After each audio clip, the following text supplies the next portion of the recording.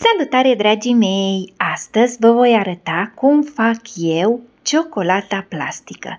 Este o ciocolată plastică foarte bună, este ideală pentru decorat prăjituri, pentru a face decoruri, etc. Deci, dragii mei, haideți să vedem cum pregătim această ciocolată plastică. Într-un bol vom adăuga 200 de grame de ciocolată albă pe care o vom topi pe baie marin. Dacă doriți să faceți mai multă ciocolată plastică, doar trebuie să dublați cantitățile ingredientelor.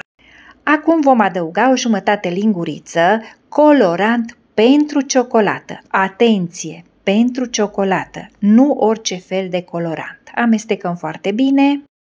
Iar acum vom adăuga 90 de grame glucoză sau sirop de porumb și amestecăm. Această glucoză o veți găsi pe net Amazon. Amestecăm foarte bine, după cum vedeți a început să se îngroașe, voi frământa puțin cu mâna.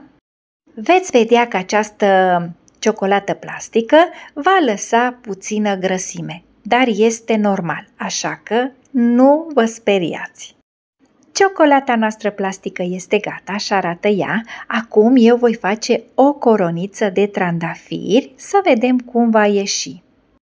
Voi face această coroniță pentru că mai târziu voi decora un tortuleț cu această coroniță de trandafiri. Se lasă puțin la rece, iar restul ciocolatei plastice o vom uh, împacheta în folie de plastic și o vom da deoparte. Se poate păstra și la temperatura camerei. Coronița noastră este gata, o vom scoate din formă și gata este decorul nostru. Iar acum vă doresc spor la treabă și numai bine tuturor! Pa, pa!